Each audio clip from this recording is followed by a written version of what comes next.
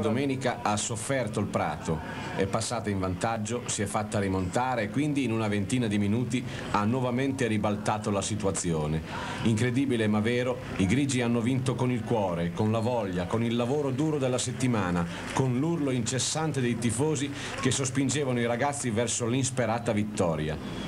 Nonostante l'arbitraggio scandalosamente sfavorevole, Sabato e compagni hanno agguantato in piena zona Cesarini la vittoria sul Prato, raggiungendolo in classifica e per il momento inserendosi al di sopra dei play-out. Vittoria meritata, dicevamo, soprattutto per come è maturata. Dopo solo 5 minuti di gioco in uno scontro aereo tra Perugia e Turchi è l'Alessandrino a portarne le conseguenze ritornando in campo con una bendatura d'altri tempi.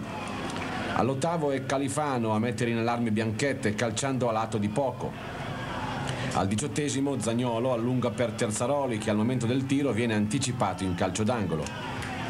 Ci prova anche Ceccaroni dalla lunga distanza al ventesimo ma il tiro non incute timore.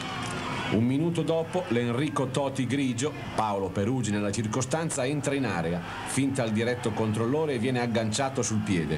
Rigore netto che Serioli, freddo più che mai, trasforma.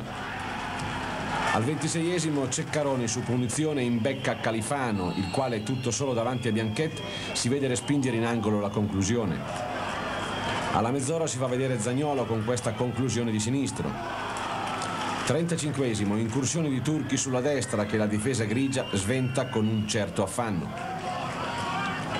Al 39esimo per questo intervento di Galletti il direttore di gara inventa una punizione per il Prato. La calcia Ceccaroni che batte Bianchetto.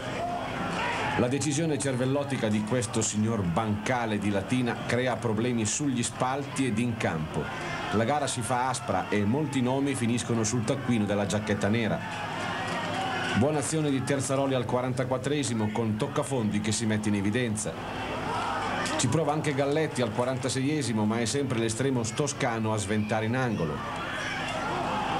Nella ripresa l'Alessandria cerca la rete del vantaggio ma il Prato si difende con ordine. Occasione all'ottavo per Perugi che perde l'attimo per la conclusione. Punizione di Zanutti al decimo con Toccafondi che para terra.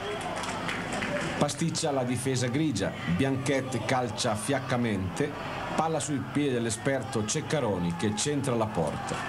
2 a 1 per il Prato. La reazione è immediata e la difesa toscana stenta ad arginare le folate dei grigi.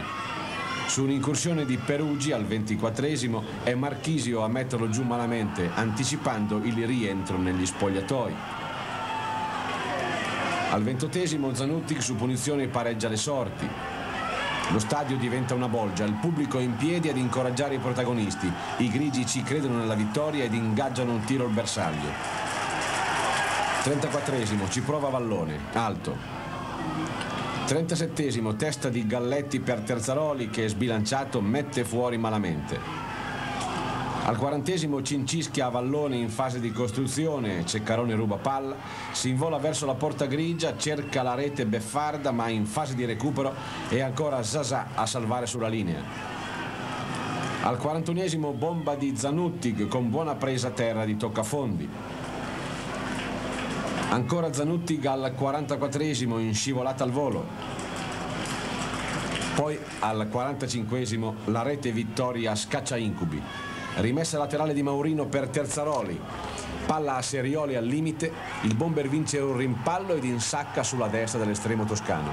È la rete della vittoria tanto voluta quanto meritata. Ed ora tutti negli spogliatoi a sentire i protagonisti.